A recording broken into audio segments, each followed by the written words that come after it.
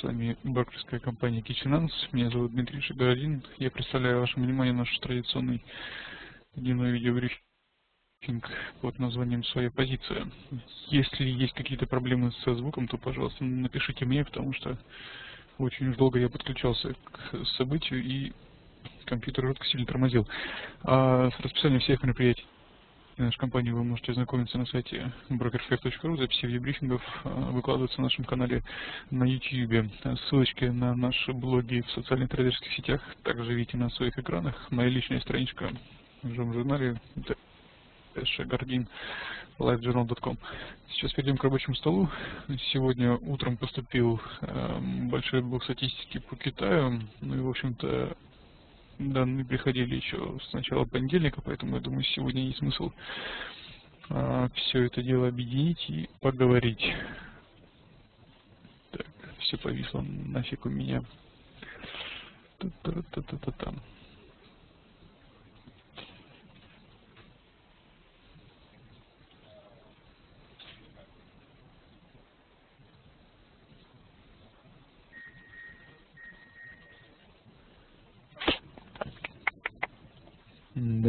судьба, видимо. Да хер знает, ничего не работает.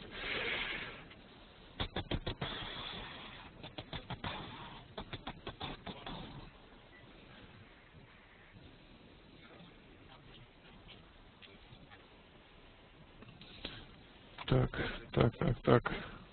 Напишите, пожалуйста, в чат мне кто-нибудь нормально все со звуком, с, э, видео, иначе я, я просто не понимаю, вы меня слышите или не слышите, видите или не видите, потому что тише звук идет, не ругайся. Угу, все окей, все нормально, хорошо. Все отлично, хорошо. Так, ладно, давайте пойдем по порядочку. А, сейчас я... Да, все хорошо. Так, давайте, давайте, давайте, давайте, давайте, давайте. Все, я уже тут потерял мысль свою. Ладно, давайте пойдем по порядочку. А, по Китаю сегодня подробно поговорим. А, утром сегодня выходили данные по ВВП, по промышленному производству, там много чего интересного было. В понедельник, а, точнее в прошлую субботу выходили данные по торговому балансу. Вот сагрегируем всю эту статистику и постараюсь вам ее представить так, чтобы понимать, как идут дела во второй по размеру экономики мира, то есть в Китае. А, сегодня получили данные по э, темпам роста ВВП за э, третий квартал 2012 года. Э, попали в ожидания и получили цифру в 7,4%. А, по росту ВВП, да, обновился WebEx, в общем, у меня поэтому какие-то тут глюки были. А, что мы получили? Мы получили то, что темпы роста китайской экономики а, падает, если не ошибаюсь, уже седьмой а, квартал подряд. Вот раз, два, три, четыре, пять, шесть, семь. Да, все правильно. Семь кварталов подряд падают, экономика Китая теряет темпы своего роста. А, далее, что вы видите на экране? На экране вы видите данные по инфляции. Это синенькая линия. Данные по инфляции выходили, если не ошибаюсь, в, в понедельник в этот понедельник темпы роста составили в годовом пересчете процент и 9 десятых. В общем-то, все неплохо. Целевой уровень инфляции Народного банка Китая составляет 4%. То есть, когда инфляция перешагивает порог в 4%, тогда э, начинается серия э, ужесточения монетарной политики. Это было хорошо видно в 2011 году. Э, в 2011 году, вот когда инфляция перешла превысила порог в 4%, Народный банк Китая начал понижать, повышать, точнее, ключевые процентные ставки. А, соответственно, у нас э, розовая линия – это процентная ставка по годовым кредитам, а зелененькая – это процентная ставка по по годовым депозитам. Это и есть ключевые процентные ставки Народного банка Китая. У каждой страны свои ключевые ставки процентные. А, по правой шкале фиолетовая линия обозначает у нас норму банковского резервирования. Очень много ходило разговоров в последнее время о том, что Народный банк Китая, он же китайский центробанк, может понизить нормы резервирования для того, чтобы э, ликвидности банковской системе было побольше, но пока на уровне 10% держится этот параметр и ничего здесь не меняется. А, ну, также напомню, что в июле 2019 года а, Народный банк Китая два раза подряд а, понизил эти самые ключевые процентные ставки по депозитам, по кредитам, по годовым, соответственно, уровень по кредитам 6% сейчас ровно составляет, по депозитам 3%. Серия понижения ключевых ставок связана как раз-таки самым прямым образом с падением темпа роста экономики. Инфляция, как видите, сейчас э, не является большой эм, головной болью для Народного банка Китая, поэтому сейчас все меры направлены на поддержание экономического роста. Вот э, такая картинка, очень э, хорошая, репрезентативная, как мне кажется. Э, кстати, еще раз э, сразу напомню, что в ноябре, сразу после выборов президента в США, буквально через пару дней э, в Китае состоится очередной съезд э, Компартии, на котором э, произойдет ротация руководителей страны, э, смена поколений, новый лидер будет в Китае. Такая, на самом деле, относительно формальная процедура, но в историческом срезе есть один очень интересный факт, и, и согласно вот этим историческим данным, как только происходит смена власти в Китая резко увеличиваются государственные расходы. Ну, это такой, наверное, скорее больше политический шаг. И новые власти покажут свою, в общем-то, желание помочь экономике и в целом возможно а, то, что где-то с декабря, может с начала 2014 года китайские власти предпримут а, более уверенные шаги по вливанию средств в экономику, в различные инфраструктурные проекты, что в целом должно поддержать внутренний спрос и в целом всю экономику. А, это сейчас необходимо стране, потому что внешний спрос действительно крайне слабый. Европа в рецессии, США очень нестабильно демонстрируют темп роста экономики, и США, Китай являются, ой, США и Европа являются крупнейшими торговыми партнерами Китая, и сейчас от этой слабости европейской, американской Китай очень сильно страдает, еще раз повторюсь, темпы роста экономики э, длятся уже 7 кварталов подряд. Так, по этому мы поговорили. Дальше пойдем посмотрим по темпам промышленного производства и данные по ценам производителей. Очень важная статистика. Так, сейчас я, наверное, увеличу экран, чтобы было лучше видно. Как-нибудь вот так вот сделаю. Да, вот так вот, я думаю, будет видно чуть-чуть получше. Итак, согласно представленным данным, а, промышленное производство Китая выросло в прошлом месяце на 9,2%. Аналитики ждали того, что промышленное производство вырастет на 9%. На ваших экранах годовая динамика сглаженная по промышленному производству. Это у нас э, розовая линия. Цены производителей очень важный показатель наравне с ценами потребительскими. Это у нас, соответственно, зелененькая линия.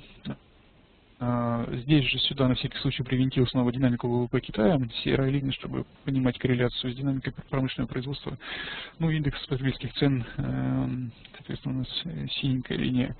Ну, в общем, мы видим, что э, сокращается, точнее сокращается темпы роста промышленного производства и все-таки Китай скорее является экономикой э, промышленной, и промышленность занимает чуть больше, чем 50 процентов всей экономики, в отличие от других стран. И Поэтому, конечно, все внимание на промпроизводство, которое теряет э, тоже свою силу, свою мощь, но хотя надо сказать, что э, сентябрь оказался не таким уж плохим э, месяцем, то есть вроде какие-то даже первые ласточки, небольшое восстановление мы наблюдаем сами, если посмотреть сглаженную годовую динамику. Но немножко настораживает ситуация с ценами производителей, а, сожалению, в сентябре э, продолжилось снижение по этому параметру, минус 3,6%, и весь 2012 год цены производителей снижаются. Э, ну, соответственно, падает деловая активность у производителей, так как, в общем-то, у них нет большой заинтересованности в производстве продукции, потому что цены на эту продукцию снижаются. При этом мы прекрасно знаем, что на рынке сырьевом конъюнктура не очень приятная, хотя там да, падали цены на промышленные металлы и на другие, э, на другое сырье но в целом картина, в общем, для китайских промышленников пока что выглядит не самым лучшим образом все-таки, да, и вот этот вот темпы, которые мы наблюдаем с 2010 года, в общем-то, пока что не внушают доверия, хотя надо понимать, что это годовые темпы роста в 9,2%. Если не ошибаюсь, темпы роста ВВП, промпроизводства в России в прошлом месяце составили 2% всего годовых, да, то есть все-таки Китай растет, темпы роста впечатляющие, но нам важна динамика, и динамика пока говорит в пользу того, что эти темпы будут падать. Двузначных цифр мы с вами уже не увидим. А почему смотрим на Китай? Потому что именно Китай стал локомотивом восстановления мировой экономики в 2009 году. Он раньше всех начал восстанавливаться. Где-то уже, наверное, в ноябре-декабре 2008 года развернулась экономика. Э, колоссальные инвестиции э, были э, влиты в экономику 500 миллиардов долларов да, если не ошибаюсь, правительство Китая влило в инфраструктурные проекты колоссальные суммы, и, конечно, это помогло очень сильно Китаю э, начать восстанавливаться, и он в целом за собой потянул всю мировую экономику. Но сейчас ситуация, как вы видите, немножко другая. Э, нестабильность в Европе, нестабильность в США, и вот Китай тоже демонстрирует падение темпов роста, что в целом, конечно же, настораживает. А далее, очень интересный график. Я вот сейчас как раз им занимался перед брифингом, данные по а, потреблению электроэнергии. А, график а, годовой, а, сглаженный, а, ну, то есть сравниваем а, данные по потреблению электричества и делим на то, что было годом ранее, да, соответственно, получаем такую сглаженную линию. Здесь, правда, есть э, нехорошие периоды, это декабрь и январь. Можно попросить тебя убрать? Спасибо. А, очень нехорошая статистика в декабре-феврале, потому что празднуют китайцы лунный э, свой Новый год, как нам по лунному календарю. В общем, целый там месяц практически не работает, и очень большое искажение получаем. Но что мы с вами видим, то что темпы роста просто э, потребление электричества в Китае э, тоже сокращаются довольно уверенно. 2,9% год году это минимальное значение за весь 2012 год, да и, наверное, там за многие года на самом деле. То есть тут тоже такие хорошие индикаторы есть, э, которые помогают нам оценивать действительно очень неприятную ситуацию в китайской экономике. То есть я надеюсь, что сегодня в течение дня я догружу всю статистику, потому что в Bloomberg этой статистики нету, приходится ее по кусочком в интернете доставать и формировать эту картинку. Но это очень важная и очень интересная статистика по потреблению электричества и по выработке электричества. Она помогает оценивать реальную картину э, в экономике Китая. 50% э, всего электричества, кстати, уходит на, э, в промышленный сектор и в общем, тоже так все достаточно интересно. Так, дальше. Ну, индексы PMI мы с вами их постоянно отслеживаем, постоянно смотрим. Индексы деловой активности в промышленности Китая. Их э, предоставляет нам банк э, HSBC. Э, он отслеживает ситуацию в малом и среднем промышленном секторе Китая. В общем-то, индекс, вот индекс, который считает банк HSBC, он находится ниже 50 пунктов у, практически весь 2012 год. Это вот серая линия на экране. И розовая линия это та статистика, которую нам представляют официальные органы власти китайские. Данные выходят в первых числах э, каждого месяца. Ну, соответственно, совсем скоро, уже в 1 ноября, мы получим статистику по, по октябрю по индексу делательности промышленности Китая, который два месяца подряд находится ниже 50 пунктов, отделяющих рост от сокращения. То есть э, динамика опережающих индикаторов, к которому я отношу индекс PMI, тоже, в общем, пока э, говорит нам о том, что э, деловая активность промышленников снижается, к сожалению. А, так, что еще было интересного? В, а, выходила статистика по торговому балансу а, в прошлую субботу, если не ошибаюсь. И что мы с вами получили? Вот на данном графике изображена динамика ВВП Китая тоже в процентах э, к прошлому году. А, ну, соответственно, квартальная динамика – это розовая линия, э, экспорт – это синяя линия, соответственно, зеленая линия – это объем импорта. Ну, посмотрел все квартал к кварталу, да, и вот наложил эти графики. И, как мы видим, э, динамика импорта и экспорта очень неплохо коррелирует с динамикой ВВП. Все-таки Китай является экспортно ориентированной экономикой, как ни крути, да, и мы видим, что э, в общем-то падают довольно серьезно падают объемы экспорта. Это говорит нам о том, что внешний спрос на китайскую продукцию слабый. Также падают темпы импорта. Темпы импорта снижаются, это говорит о том, что внутренний спрос достаточно слабый сейчас в Китае. Ну и на всем этом фоне, конечно, экономика тоже, как видите, демонстрирует э, падение темпов своего роста. В общем, такие тоже очень красивые графики, очень хорошие, очень о многом э, говорят пока что. Здесь позитивных моментов я пока тоже уловить не могу, к сожалению.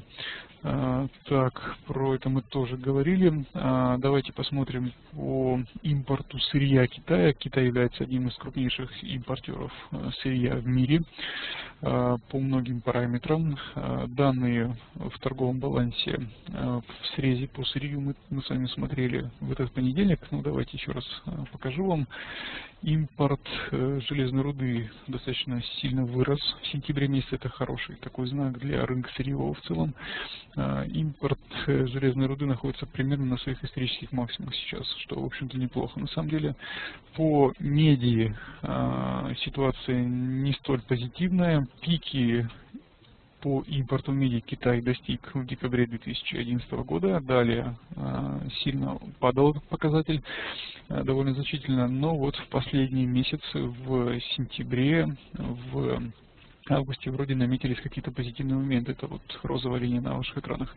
То есть медь вообще является довольно хорошим таким опережающим индикатором а, спроса, в первую очередь спроса на рискованные активы. Такой очень хороший э, металл, а, который помогает нам оценить этот самый спрос э, на риск, на рискованные активы. Для фондовых рынков хороший показатель.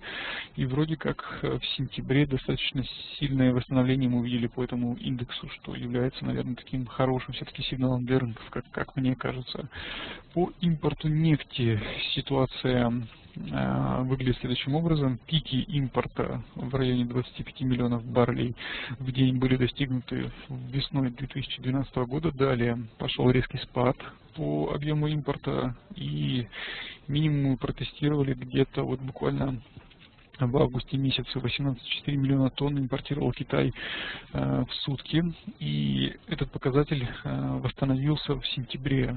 То есть в сентябре мы увидели с вами резкий э, рост объема сырой нефти, резкий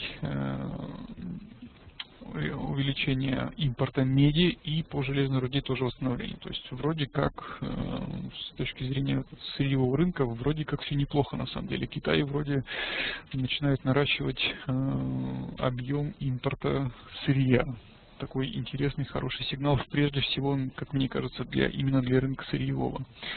А, ну и закончим, я думаю, наш обзор а, а, такой логистическим срезом, его можно так называть. А, на ваших экранах сейчас а, динамика а, объема перевозок, ЖД-перевозки, автомобильные перевозки, морские и динамика ВВП Китая.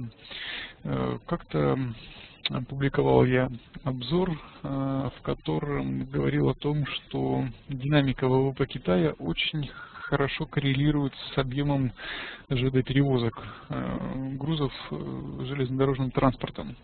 Вот на этом графике это очень хорошо видно. Картинка и график берет свое начало с 2007 года, сентября, э, и далее идет такая сглаженная годовая динамика по ВВП и по, соответственно, перевозкам по этим видам транспорта. Мы видим, как плотно коррелирует график динамики ВВП с графиком железнодорожных перевозок. Э, железно, объем железнодорожных перевозок в э, августе 2012 года в годовом пересчете оказался ниже на 7% значений э, года 2011. То есть мы видим резкий провал в объеме перевозок железнодорожным транспортом. Соответственно, это наводит на некоторые мысли по поводу адекватности оценок э, по ВВП. Ну, много ходит слухов о том, что э, данные по ВВП, по основным показателям экономическим по Китаю, они нарисованные. И вот те люди, кто это, в общем-то, говорят, экономисты, которые следуют этой теории, как раз приводят график грузоперевозок, как раз приводят график э, по потреблению электричества, по производству электричества, э, говоря о том, что эти индикаторы являются наиболее реальными, отражающими картину в китайской экономике, что действительно реальные темпы роста сейчас э, не 7,6, не 7,4, а намного ниже. Ну, так это или не так, вопрос хороший. Мы видим с вами графики сглаженные годовые, которые нам говорят о том, что китайская экономика теряет темпы своего роста уже 7 кварталов подряд. И пока что видимых улучшений мы с вами не видим. И это действительно пока настораживает. Но, еще раз повторюсь, очень важное событие состоится в ноябре, когда пройдет ротация руководителей руководства китайского. И будем ждать сразу же после этой ротации каких-то заявлений очень важных по поводу того, что э, государственные власти будут э, производить большие инвестиции в китайскую экономику, поддерживать внутренний спрос, поддерживать инфраструктурные проекты и вливать большие деньги э, да, в экономику. Это может как-то развернуть вот, текущий тренд по падению темпов роста по Китая. Так что все интересно, э, все достаточно важно. Э, в течение дня постараюсь все цифры обновить сегодня, выпустить большой обзор по китайской экономике и там будем делать какие-то выводы наперед. Конечно, очень хотелось бы, чтобы и китайская экономика нащупала некое локальное дно, но не все от Китая зависит. Э, слабость в США, слабость в Европе все-таки является ключевым фактором для китайской экономики тоже. Так, вроде бы все самое интересное обсудил, что хотел. Э, там еще много всяких различных данных есть, э, их не будем сейчас внимание заострять. Поговорю лишь об одном, о том, что в общем-то, много ведется разговоров э, о том, что э, Китайский народный банк э, в общем, может запустить программы экономического стимулирования, но если мы с вами посмотрим баланс Центрального банка Китая, то увидим, что он практически не расширился в 2012 году относительно года 2011. Это говорит о том, что Китай, в общем-то, деньги свои-то и не печатает. А, но вроде все крупнейшие центральные банки, и ФРС, и ЦБ, и многие другие, как вы знаете, печатные станки свои запустили, и они на полную катушку работают весь 2090 год. Вот Китай воздерживается от запуска печатного станка, он очень боится того, что начнется рост инфляции. А, Китай проживает 1 миллиард 300 миллионов человек, население очень большое, и э, в структуре потребительской инфляции на долю, точнее в структуре потребительской инфляции э, на долю продуктов питания и вот таких вот всех товаров приходится порядка 40%. То есть э, Китай о чем говорит Китайский народный банк? О том, что мы не будем запускать печатный станок, э, потому что мы видим, как действие печатных станков крупнейших центробанков влияет на цены на продовольственные товары, на сырье, э, что в конечном счете может, э, соответственно, обернуться высокими темпами инфляции в Китае в том числе. Э, в общем, Китай этого очень сильно боится, поэтому пока воздерживается от запуска стимулирующих программ.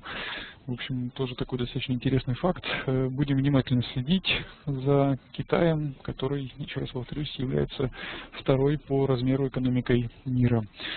Вот вроде бы на этом, наверное, и все. Будем завершать наше дневное мероприятие чуть позже сегодня. Все-таки, надеюсь, успею подготовить э, большой письменный обзор по Китаю. Там вы сможете более подробно посмотреть все то, о чем мы сегодня с вами говорили. Если у кого-то остались вопросы, пожалуйста, задавайте их в чате. Если вопросов нет, то, э, в общем-то, буду с вами прощаться. Пожелаю хорошего дня. Рынки вроде как восстанавливаются уже 4 дня подряд, как мы с вами и ожидали, и это неплохо на самом деле. А, если потом какие-то вопросы возникнут, то меня на страничке в журнале можете оставлять комментарии, я там могу с вами пообщаться в офлайне. На этом будем э, завершаться. Всем спасибо за внимание, что остались с нами до конца. А, до новых встреч. Да, вроде как все. Все, всем до свидания.